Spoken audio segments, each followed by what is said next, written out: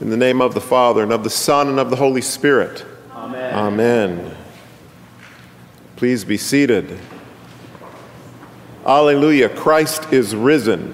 The Lord is risen indeed. Hallelujah. You know it.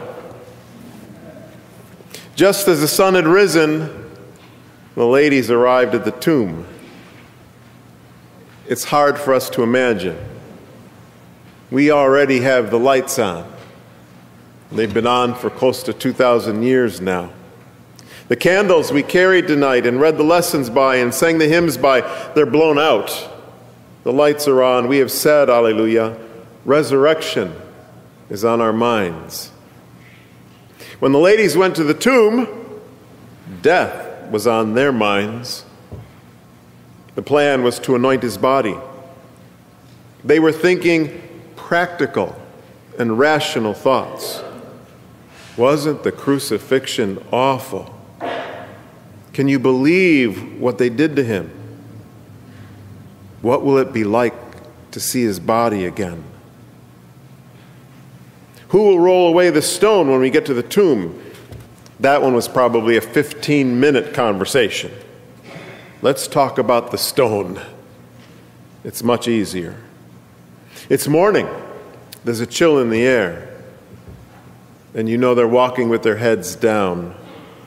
And as they arrive, they look up and see that the stone had already been rolled back. Bless their hearts, they went into the tomb.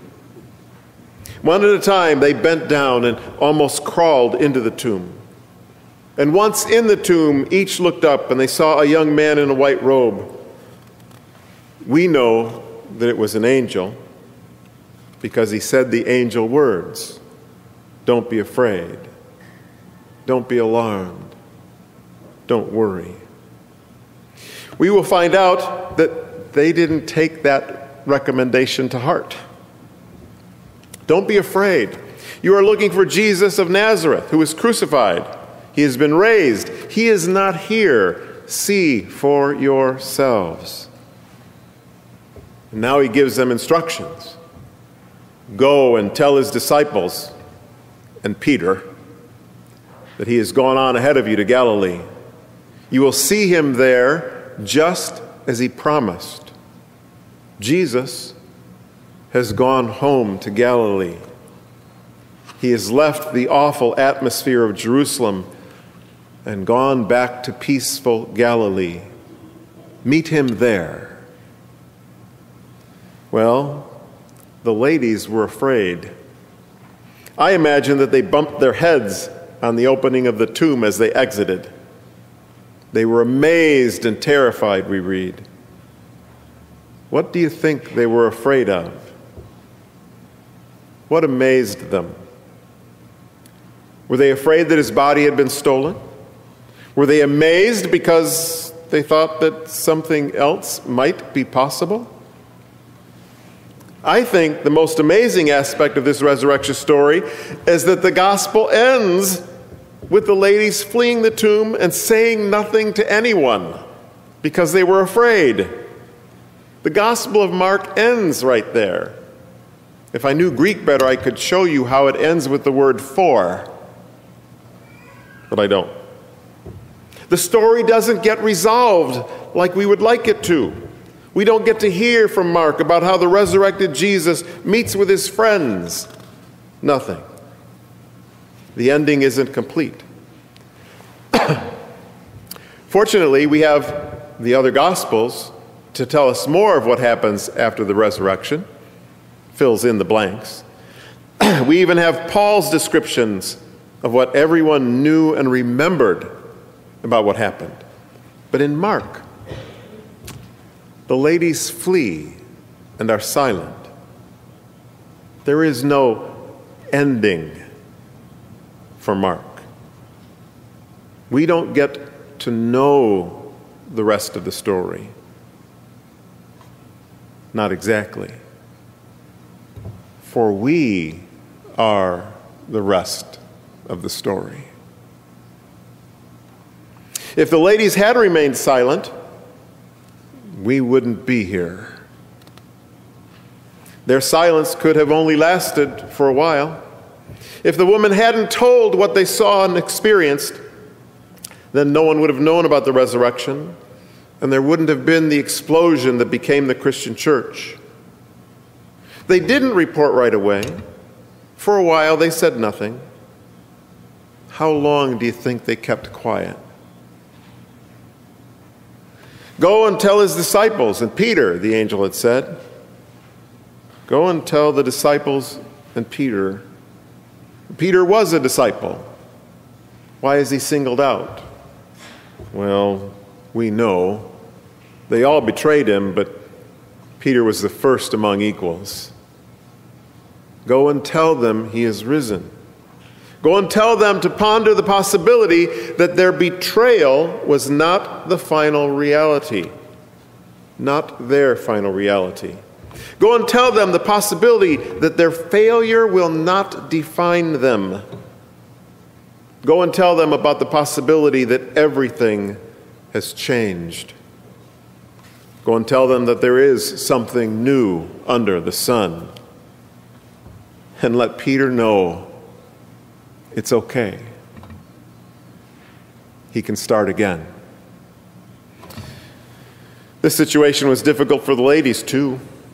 They didn't betray Jesus like the menfolk did, but they had their own difficulties to overcome. Resurrection wasn't a straight line for them. They too believed that there was nothing new under the sun. They knew how life crushes us. They knew about a world that did not value them. They knew what it was like to be treated second class. But they also knew what it was like to be loved and valued by Jesus. They had tasted hope. And they came to the tomb knowing the story of Jesus was over. They had lost their hope when he died. Could they ever risk hoping again? Would he really meet them in Galilee? Can life really be different than I believed it is destined to be? Can hope really overcome despair? Can death be overcome by life? We are proof that they overcame their fear and met with their risen Lord. So tonight we have two baptisms. One, two. Lorraine and Martine will be baptized. And they're going to go under the water, so to speak. It symbolizes their death and their resurrection to new life. And it is more than a symbol, it's a sacrament. God will do something to them Baptism will change everything. They will be raised with Jesus and marked as Christ's own forever. So tonight, we are the ladies at the tomb. It's okay, gentlemen. We are a part now of how the gospel of Mark continues, how the gospel of Jesus Christ continues. We carry the message of our risen Lord. We will be part of the story of Lorraine and part of the story of Martine. We will remind them that Jesus is alive and that He will meet them at home and at school and be with them even to the end of the ages. We will also make it clear that we will be with them when they and others are tempted to despair, we will be reminders that Christ has defeated death and that resurrection is our final reality, that death has been swallowed up in life. And so, as we exit the tomb, some of us bumping our heads, and get past our fear, we will share the message that Jesus is alive that darkness has lost its power, that hope has overcome despair. And we share the refrain Alleluia, Christ is risen. The Lord is risen indeed. Hallelujah.